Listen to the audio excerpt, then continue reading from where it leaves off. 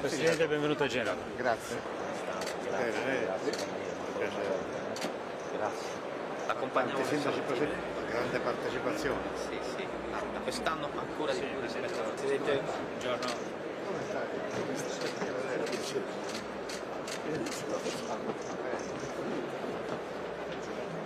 Fino qua, a ieri, no, fino a ieri la pioggia, vero?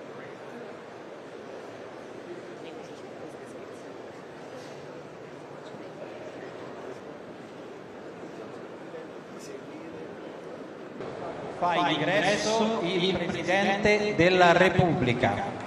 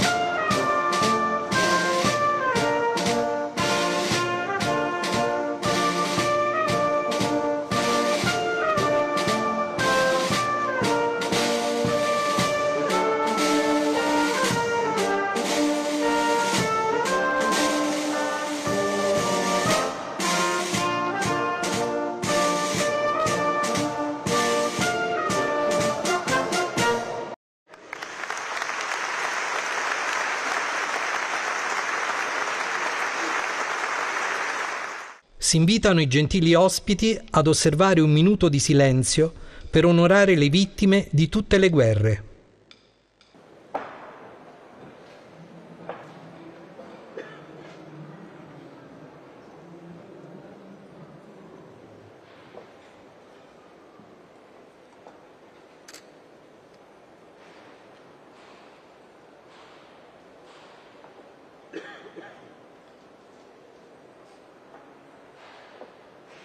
Grazie, non sarà facile oggi però. eh. Marco Bucci ci ha detto benvenuti a Genova, repubblicana di cuore, vento di sole, d'anima forte, così la raccontava il cantautore Guccini. Signora del mare scrisse il Petrarca e noi a quel mare ci siamo ispirati, lo vedete lì, lo vedete alle mie spalle, le onde del mare, ma anche di fronte, in questo suggestivo scenario, Marco, davvero uno scenario straordinario. Abbiamo scelto il mare per passare in rassegna i 12 mesi che abbiamo trascorso, le cose che abbiamo fatto, le belle vittorie e anche i momenti difficili, la vita dei nostri comuni, la vita delle nostre città. Ti ringrazio Marco, avevi preso un impegno l'anno scorso ad accoglierci qui nella tua città, noi ti vogliamo ringraziare anche per il profumo del mare e la bellezza dei vicoli, dei carrugi che sapranno raccontarci in questi giorni. Vorrei aprire questa assemblea ricordando un uomo, un politico, un rappresentante delle istituzioni, un presidente della Repubblica che ha segnato un'epoca in cui l'Italia era alle prese con grandi, straordinari cambiamenti dal punto di vista politico e dal punto di vista sociale. Le sue parole pronunciate in un frangente particolarmente difficile della politica, le ricordiamo ancora oggi. Mi muove in questo momento il sentimento di non potermi sottrarre a un'assunzione di responsabilità verso la nazione, confidando che vi corrisponda un'analoga collettiva assunzione di responsabilità. assumersi la responsabilità, chiamare tutti ad assumersi le proprie responsabilità. Questo e tanto altro è stato per il nostro Paese Giorgio Napolitano.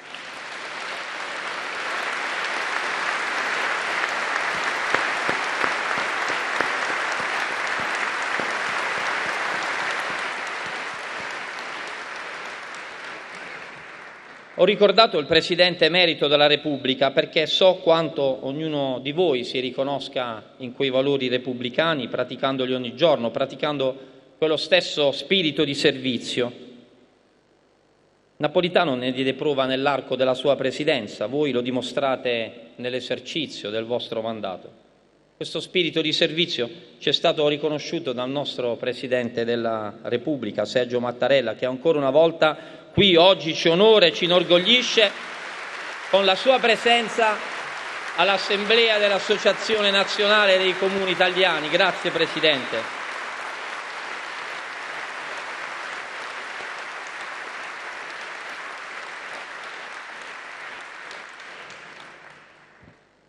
Presidente, lei oggi compie 3.186 giorni di servizio della Repubblica nella sua carica più alta e rappresentativa.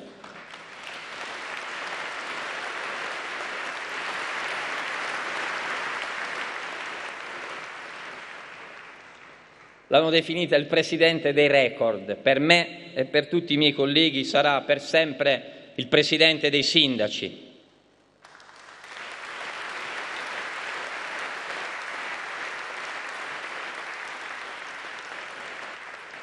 Il Presidente che non è mai mancato a una nostra assemblea da quando sette anni fa mi ha stretto con forza la mano a Bari, nella mia città, poco dopo la mia elezione alla guida dell'Associazione dei Comuni. Il Presidente che è arrivato nei comuni lontani, nelle nostre scuole, nelle periferie, sui luoghi delle tragedie, non ha fatto mancare mai una parola di conforto ai sindaci. Grazie ancora Presidente Mattarella. Oggi mi permetto di dirlo anche a titolo personale a sette anni da quella stretta di mano a Bari, nella mia città.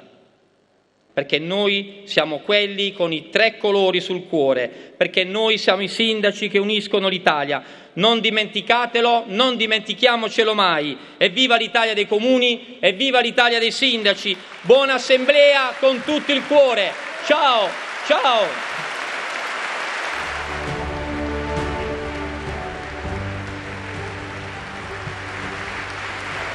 Rivolgo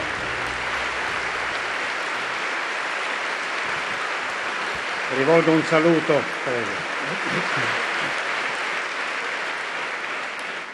rivolgo un saluto il più cordiale a tutti i sindaci e amministratori locali presenti. Un saluto al Presidente della Camera al Vicepresidente del Senato un ringraziamento al Presidente del Consiglio per il suo messaggio, per, il suo, per la sua presenza poc'anzi. Un saluto al Presidente della Regione, alle altre autorità. Un saluto al Presidente De Caro, ringraziandolo tanto per il ricordo del Presidente Napolitano e per le parole così cortesi ai miei confronti.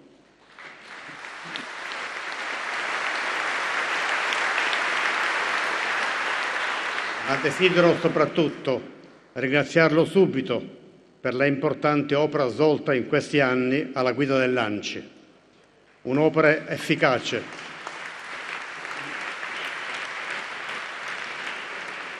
un'opera efficace, autorevole e sempre indipendente al servizio dei comuni e dell'Italia, come indica la fascia tricolori che ha poc'anzi con orgoglio indossato.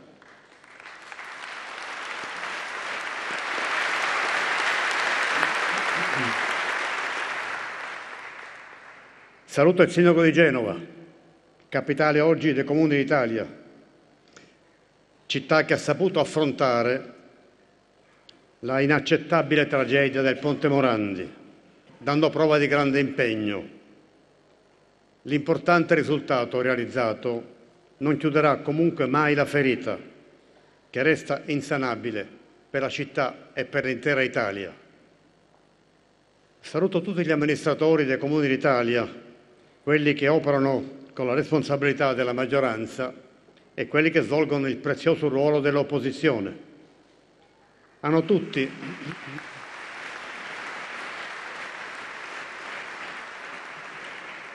hanno tutti l'onere e il privilegio di essere protagonisti della vita dei nostri quasi 8.000 comuni, la istituzione più prossima ai nostri concittadini, con la consapevolezza di recuperare il senso della parola municipio, che dalla nostra tradizione, tratta dal latino, si traduce nell'assumere un compito, un dovere, un obbligo nei confronti dei cittadini.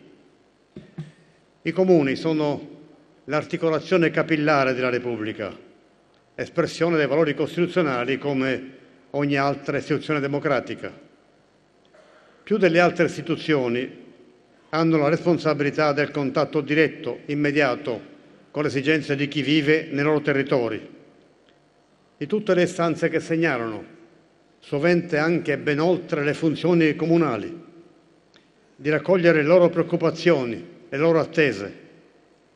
Passa da qui la tenuta della coesione sociale e aggiungo lo sviluppo dell'Italia.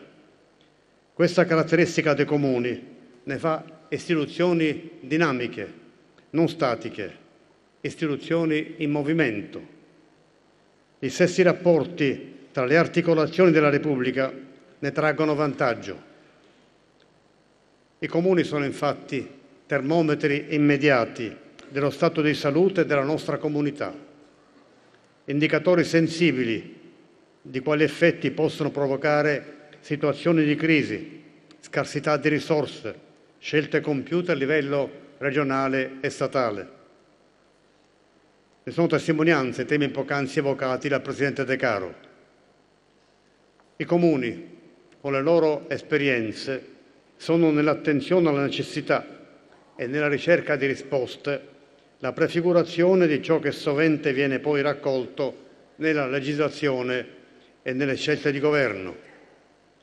Lo sono stati sin dallo sviluppo della Unità d'Italia, quando un tema come la conoscenza dei fenomeni sociali venne affidato all'Unione Statistica delle Città Italiane. L'Istat sarebbe venuta decenni dopo l'USCI, o quando, per corrispondere all'ansia di sviluppo delle città e alla elevazione delle condizioni di vita degli abitanti, si dette avvio a formule allora nuove sul terreno dei servizi, come l'acqua potabile, l'assistenza e la salute, l'energia e i trasporti, l'edilizia popolare, l'istruzione tecnica, esempi di welfare locale. I municipi sono stati centro e protagonisti dei processi di grande modernizzazione. Sono permanenti laboratori di nuova partecipazione democratica e il pensiero corre al vissuto del decentramento amministrativo nei quartieri delle grandi città e nelle frazioni dei comuni, che si sviluppò negli anni Sessanta, capace di promuovere progetti civici. I comuni sono il primo banco di prova della vitalità di una democrazia, della nostra democrazia, e sarebbe un errore privilegiare scorciatoie su questo terreno. Proprio la vitalità che caratterizza il rapporto tra le persone e i comuni indica che va perseguita con ostinazione la strada del sempre maggiore coinvolgimento dei cittadini, elemento certamente non secondario di legittimazione, anche per contrastare la preoccupante tendenza al disimpegno elettorale. L'Italia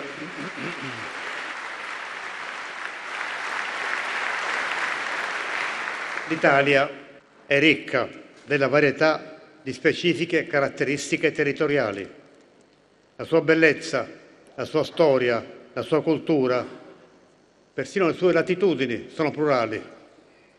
Le diversità accrescono il valore del nostro Paese. I comuni rappresentano questa diversità, danno loro voce nell'ampia cornice della Repubblica. Investire sui comuni vuol dire quindi investire sulla concretezza della vita dell'Italia, sul suo futuro. La pluralità richiede sempre collaborazione. Avete di fatti sempre dimostrato saggezza nel non tardarvi nella logica delle piccole patrie, per essere invece una grande forza nazionale, consapevole degli interessi generali, che dà senso e contribuisce alla direzione dell'Italia. Ci uniscono un compito e una responsabilità collettive, l'attuazione della Costituzione, che pone sempre al centro la persona, la sua libertà, l'uguaglianza, lo sviluppo integrale. Oggi è il tempo della prova di dare piena attuazione al piano nazionale di ripresa e resilienza. Tante risorse, tanti progetti costituiscono nel loro insieme un'occasione storica per il nostro Paese, con la mobilitazione di importi ingenti, addirittura superiori a quelli del provvidenziale e mitico piano Marshall del dopoguerra. Si tratta di un grande, decisivo contributo per innovare e migliorare l'Italia e l'Europa nella capacità produttiva, nella sostenibilità dello sviluppo futuro, nella coesione sociale. Abbiamo conosciuto le stagioni dell'ammodernamento infrastrutturale. Abbiamo iniziato negli anni 2000 a ridurre le distanze con l'alta velocità ferroviaria e a collegare le varie parti d'Italia con le reti wifi. Abbiamo iniziato e questi percorsi vanno completati. Siamo di fronte a nuove stagioni sul terreno della mobilità, del digitale, della formazione, che cambiano il modo di vivere e abitare, di produrre, di fare ricerca. È un'occasione irripetibile nel medio periodo per migliorare la qualità della vita delle famiglie italiane, delle nostre comunità.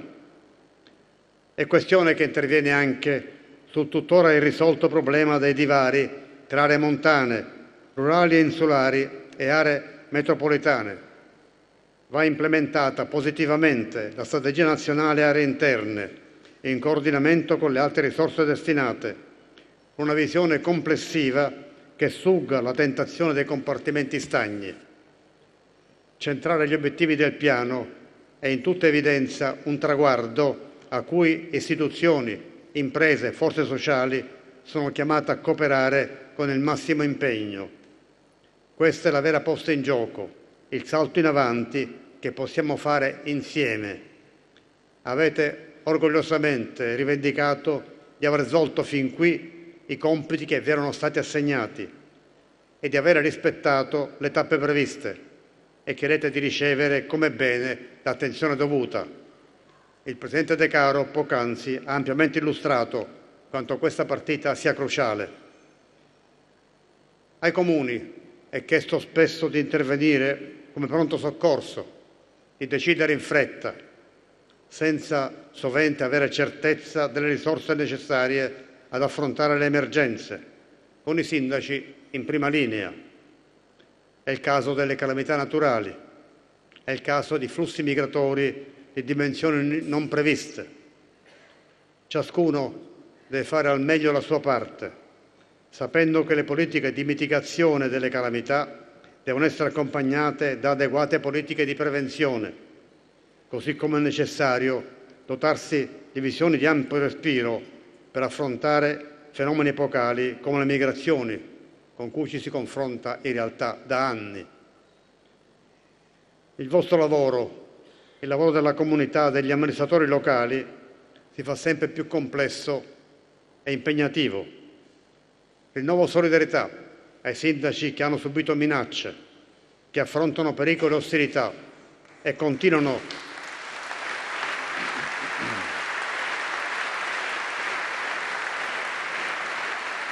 e continuano, continuano nel loro lavoro con sacrificio e dedizione la Repubblica è consapevole del servizio che rendete alla comunità nazionale e per questo vi è riconoscente. È dai comuni, dalle città, dai paesi che riparte la fiducia, una fiducia non astratta, ma fondata sul lavoro concreto, consapevole della forza da cui trae origine. Celebriamo i cento anni della nascita di Italo Calvino e siamo qui in Liguria la regione dove da giovane si è formato. Nelle città invisibili Calvino sogna e descrive luoghi immaginari, dove però il reale è vivo l'ideale continuamente lo interroga e lo sfida. Definisce le città, definizione che si aggiunge a quella che poc'anzi il senatore e maestro Renzo Piano ci ha presentato.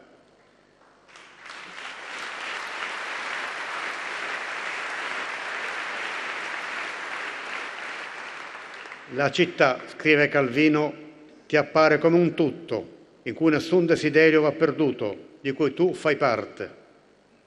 I nostri centri abitati sono storia, progetto, impegno, speranza, percorso verso il futuro.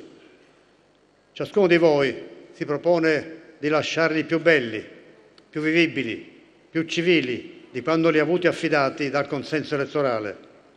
Un sogno e una promessa che ciascuno di voi avrà certamente fatto a se stesso.